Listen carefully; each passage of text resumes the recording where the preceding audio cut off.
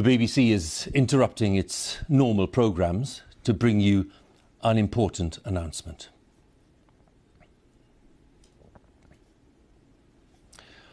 This is BBC News from London. Buckingham Palace has announced the death of Her Majesty Queen Elizabeth II.